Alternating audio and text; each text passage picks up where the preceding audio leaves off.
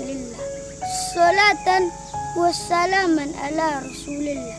Amma. Pemirsa, di mana pun Anda berada, yang insya Allah dimulakan Allah Subhanahu wa Ta'ala. Kita selalu berdoa ingin mengharapkan surga kepada Allah. Tetapi kita lupa bahwa sebenarnya surga itu ada di dekat kita. Dan judul dosis saya pada hari ini ialah surga di rumahmu. Siapa surga kita di rumah kita? Ayah ibu kita. Lebih dekat laginya di mana? Di telapak kakimu. Pertanyaannya, kenapa kita selalu mencari surga yang jauh? Lupa sama yang dekat dulu ketika Nabi Ibrahim menikah dengan Siti Hajar berpuluh tahun lamanya.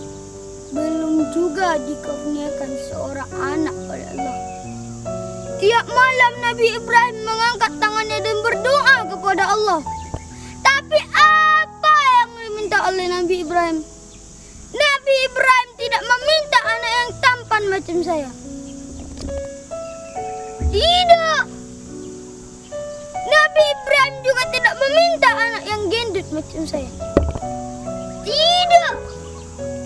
Apa yang diminta Allah Nabi Ibrahim? Rabbi hablim minas salihin.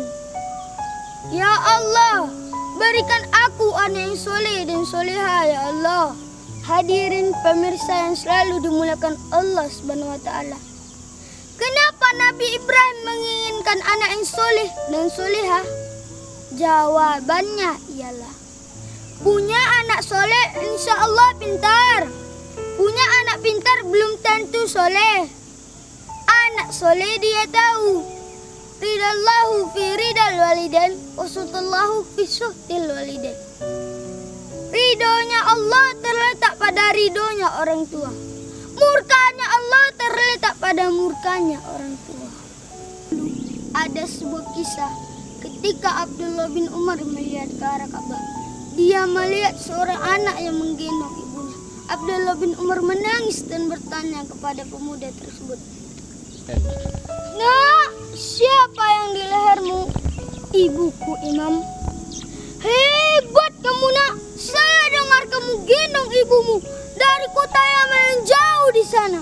Sampai Mekah Al-Mukarramah. Benar, Imam. Kulitmu sampai mengelupas karena terik matahari yang panas. Imam, jangankan kulitku, nyawaku pun sekalipun aku pertaruhkan demi ibuku. Aku cinta ibuku, Imam. Abdullah bin Umar menangis dan tambah menangis. Lalu pemuda tadi bertanya, Imam, apakah dengan jihad sebesar itu aku dapat membalas jasa ibuku? Abdullah bin Umar menjawab,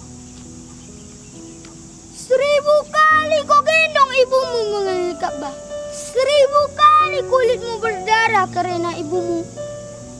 Tidak dapat membayar satu tetes darah saat dia melahirkan. Bayangkan ahi, satu tetes darah tidak dapat kita bayar dengan jihad seperti itu. Bagaimana? Cara menghapuskan luka yang pernah kita goreskan ke dalam hatinya.